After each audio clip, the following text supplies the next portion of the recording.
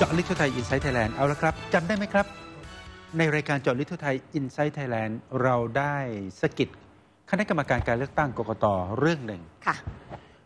เพลงเชียร์ประชามติของกกตที่ชื่อว่า7เจ็ดสิสิงงหาหาประชามติร่วมใจประชาธิปไตยมั่นคง ปล่อยมาสัปดาห์ที่แล้ว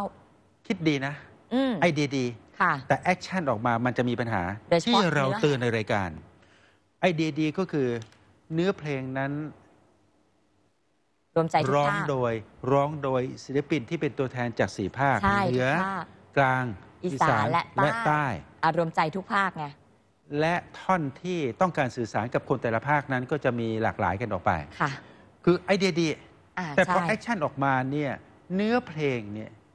ท่อนที่สื่อสารกับคนเหนือ และคนอีสานและคนอีสานเนี่ยมันส่อเหยียด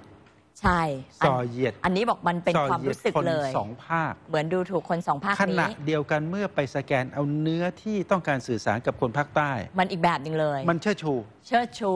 เหมืมัอนนเชิดเขาชูมีความรักประชาธิปไตยมันเชิดแต่ชูสองภาคนั้นเหมือนถูกซื้อเสียงได้อะไรประมาณนี้นะคะ ก็เลยทำให้เกิดความรู้สึกของคนสองภาค เราก็บอกว่าในโซเชียลเริ่มมีการจุดประเด็น เนื้อหามันเหยียดคนเหนือและคนอีสานนะค่ะ แก้ได้แก้ซะ ใช่ค่ะ หรือถ้ามั่นใจในหลักคิดตัวเองว่าถูกต้องอธิบายได้รีบออกมาออกมาอธิบายกับสังคมซะ ใช่ค่ะ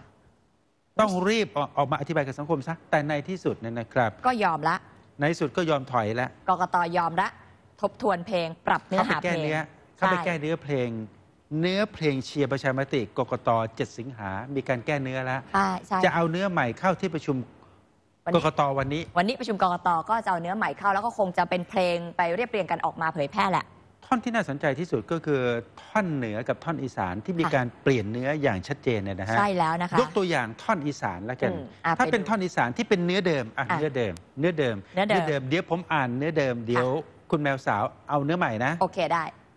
เนื้อเดิมนั่นนะครับ ท่อนอีสานเนี่ยนะครับ พี่น้องอีสานบ้านเฮาอย่าให้ใครเขาชี้ซ้ายชี้ขวา ใช้สติพิจารณา เนื้อหาถ้อยความหลักการสำคัญ ออกไปใช้ใช้เสียงใช้สิทธิ์ ร่วมรับผิดชอบบ้านเมืองนำกัน ให้คูเขาคูเราเท่าทันเฮาคนอีสานอย่าให้ไผมาตัวได้อืมมาหลอกได้ประมาณนั้นค่ะแหมคนอีสานเขามีความรู้สึกเอ๊ะ สื่อสารมันเหยียดมันดูถูกับกคกันนอีเล็สานกๆอย่างนี้ได้อย่างไรใช่เหมือนเหยียดกันเล็ก ๆ กันนะครับใช่ค่ะแต่คราวนี้ดูท่อนอีสานเนื้อเนื้อใหใหม่ม่ที่ปรับใหม่เนื้อหาดังนี้ค่ะ เอ้าไปกันเดอร์หมู่เฮาจาก8โมงเช้าฮอด16นาฬิกาใช้สติพิจารณาเลือกกาช่องไหนอยู่ที่ใจของท่าน ออกไปใช้เสียงใช้สิทธิ์ ร่วมกันรับผิดชอบ บ้านเมืองนำกันหนึ่งเสียงหนึ่งคะแนนของท่าน ช่วยกันสร้างสรรค์ระบอบประชาธิปไตยก็ดีขึ้น ก็ดีขึ้น ก็ดีขึ้นก็ดูมันคึกก็คืดีนขึ้บันเทิงขึ้น ก็ดีขึ้นค่ะ ก็ดีขึ้นเนี่ยนะครับค่ะ ก็ถือว่าเป็นการไปปรับแล้วล่ะ รถตรงนี้ไปรถกระแสท่อนใต้จะไปไปเกาเล็กเล็กๆน้น้ออยยๆเกาเล็กๆน้อยค่ะๆคือคือคือเนื้อหาท่อนที่สื่อสารกับคนใต้เนี่ยมันเชิดชูค่ะสาระของมันฟีลลิ่งออกมามันเชิดชูคนใต้ มันชัดอะประมาณนั้นแหละ ก็เลยมีการอวิพากษ์วิจารณ์กันเยอะนะคะนักวิชาการเห็นด้ก็วยแสคดรับงความเห็นกันเยอะ ถ้าวันนี้ผมเจอหน้าคณะกรรมการการเลือกตั้ง ผมก็จะเดินไปกราบ ค่ะ